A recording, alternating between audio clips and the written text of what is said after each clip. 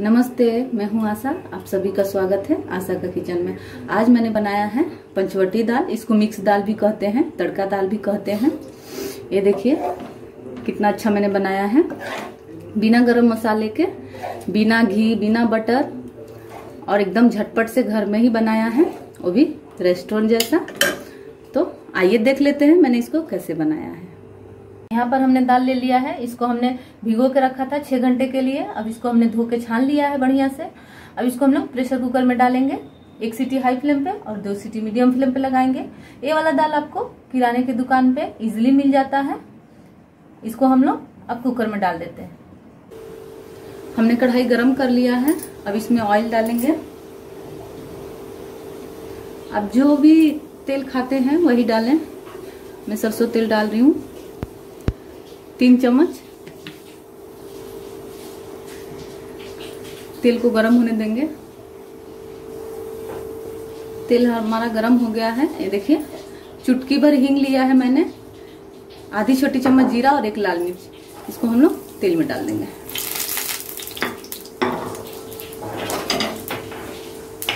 इसमें ये दो बड़ा प्याज लिया था मैंने, बारीक काट लिया है।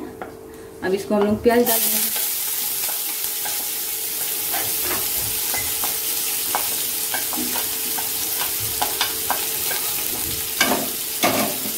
प्याज को डाल के हम लोग मिक्स कर लेंगे।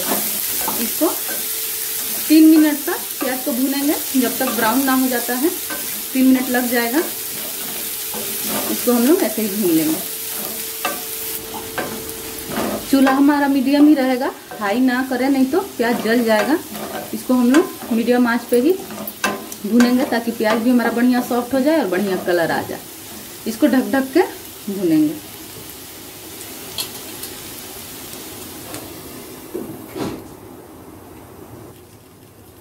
हमने प्याज को ढक दिया है। ये देखिए, तीन हरी मिर्च है, दस बारह लहसुन की कलिया है और आधा इंच अदरक का टुकड़ा है। इसको हम लोग पीस के पेस्ट बना लेंगे।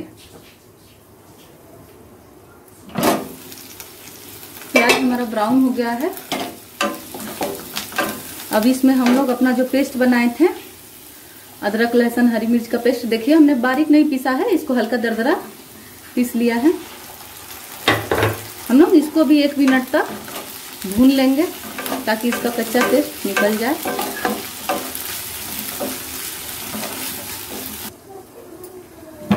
हमारा अदरक लहसुन भी बढ़िया से भुना गया है।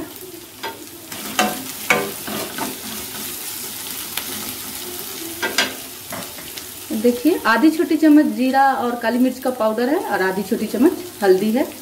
इसमें लाल मिर्च पाउडर मैं यूज़ नहीं कर रही हूँ, लेकिन आप अगर खाते हैं तो आप डाल सकते हैं। आप तीखा आप अपने अनुसार कर सकते हैं।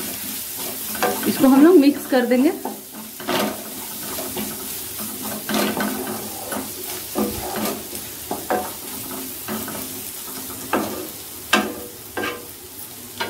हमारा कुकर भी ठंडा हो गया है। अब हम अपना दाल भी देखेंगे।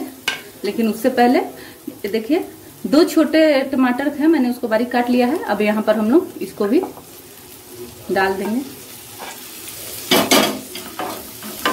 इसको डाल के भी दो मिनट भूनेंगे ताकि टमाटर हमारा गल जाए बढ़िया से। बढ़िया से मिक्स कर ले, उसके बाद ढक के भूने, जल्दी गल जाएगा।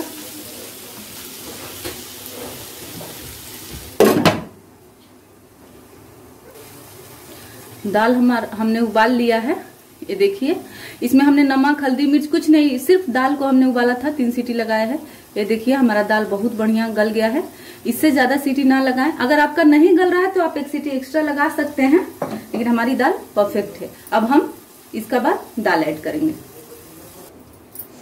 अपने देख लेते हैं मसाले। भून चुका है।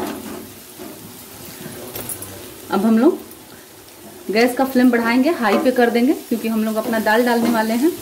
दाल का कुछ पानी मैंने निकाल लिया है। आप देख लें, फिर ज़रूरत पड़ेगा तो हम उसको डालेंगे। आप देख लें आप कितना गाढ़ा बनाना चाहते हैं। यहाँ पर मैंने ऐड कर दिया है धनिया पत्ता। धनिया पत्ता इसी पॉइंट पर डालें। बहुत अच्छा टेस्ट आता है उसका। हमें ऊपर से अब धनिया पत्ता डालने का ज़रूरत नहीं है। अब इसमें हम लोग अपना बॉईल किया हुआ दाल डालेंगे। दाल के साथ ही मिलता है ये वाला मसाला। अब जहाँ पे दाल का पैकेट लीजिएगा, वहाँ पर आपको दाल के साथ ही मिलता है। हम ये वाला मसाला भी इसमें ऐड करेंगे। ये आपके दाल की क्वांटिटी के हिसाब से पैकेट मिलता है। उसको पूरा डाल दिया है मैंने, ये देखिए, और स्वाद अनुसार नमक। अब सारी चीज़ों को हम लोग बढ़िया से मिक्स करेंगे। चूल्हा हमारा हाई फ्लेम पे है। मिक्स कर लेंगे। हमने दाल को बढ़िया से मिक्स कर लिया है मसालों में। अब इसे हम चूल्हा को एकदम लो कर देंगे। पूरा लो है हमारा। और इसको हम लोग तीन से चार मिनट के लिए ढक के रख देंगे ताकि हमारे मसाले, दाल, नमक जो भी गया है, सब बढ़िया से मिक्स हो जाए। देख लेते हैं अपना दाल। देखिए, बढ़िया से हमारा दाल मसाला सब मिल गया है। बढ़िया हमारा बन के रेडी हो गया है। अब इसको हम लोग ढाबा स्टाइल कैसे बनाएँगे? ये हमारी पूरी दाल बनाने की प्रोसेस थी। हम लोग दाल ऐसे ही बनाएँगे, लेकिन इसको हम लोग एक अलग सा लुक देंगे, जो ढाबा में या फिर रेस्टोरेंट में होता है। उसके लिए मैंने यहाँ पर कलछी ली है। बड़ा वाला चम्मच इसको बोल सकते हैं। इसको गरम कर लूँगी।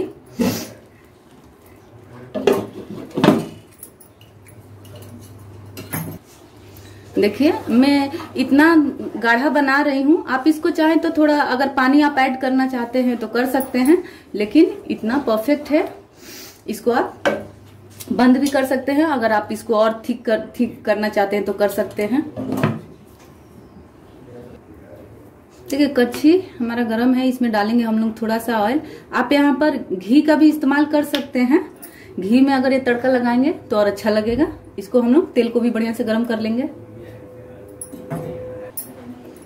अपना दाल का ढक्कन हटाएँगे। तेल हमारा गर्म हो गया है। इसको गैस से हटा के ही इसमें लाल मिर्च डालें। ये देखिए, आधी छोटी चम्मच हमने लाल मिर्च लिया है, पाउडर। इसको ऐसे हम लोग इस पे डाल देंगे। डाल के इसको आधे मिनट के लिए ढक देंगे और चूल्हा को बंद कर देंगे। एक मिनट हो गया है, देख लेते हैं। देखिए, हमारा दाल का कलर कितना बढ़िया आ गया है। ये हमारी दाल बनके रेडी है। अगर मेरी रेसिपी आपको अच्छी लगी हो तो प्लीज़ मेरे वीडियो को लाइक करें शेयर करें और मेरे चैनल को सब्सक्राइब ज़रूर करें। मेरे चैनल को सब्सक्राइब करने से आपको मेरी आने वाली वीडियो सबसे पहले मिलेगी देखने। Thank you